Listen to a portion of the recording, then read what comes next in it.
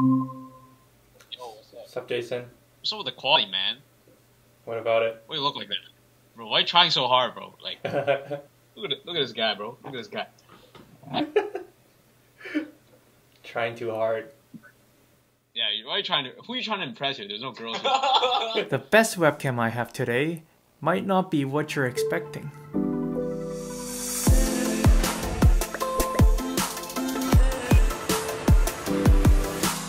Hey everyone, welcome back. I'm Albert. It's almost the end of 2021, and with or without COVID, video calls and streaming are only getting more common.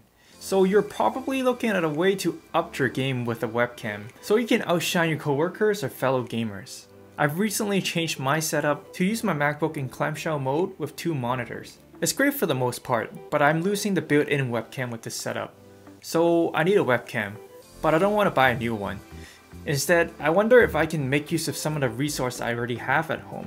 And as a photographer, I have a few retired or less used DSLRs sitting behind me all the time. So today, let me show you how to turn a camera, specifically a Canon DSLR, into a webcam with the best possible quality with 5 easy to follow steps. And forget about the Logitech Brio or some expensive webcam, I can guarantee you that you'll get better image quality with this setup. Step 1. Get your hands on a Canon camera.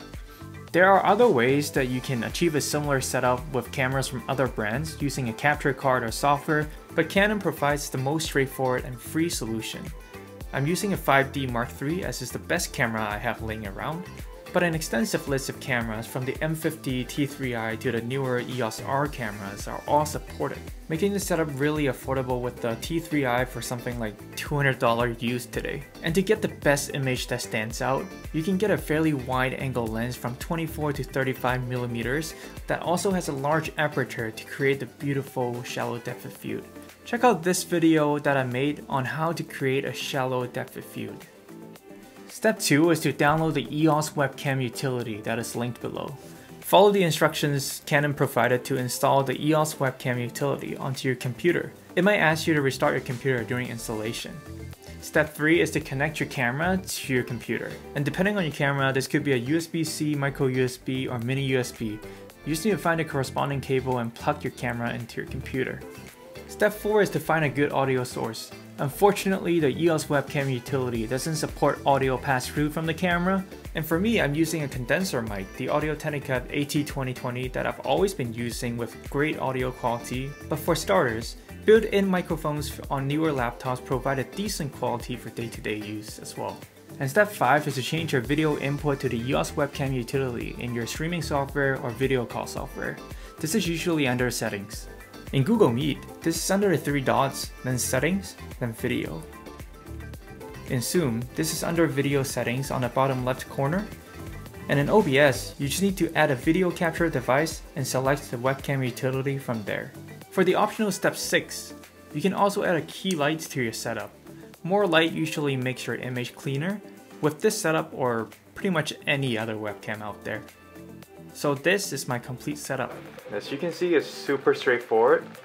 5D Mark III on the side, right here, microphone right here, and at the back, it's just a light.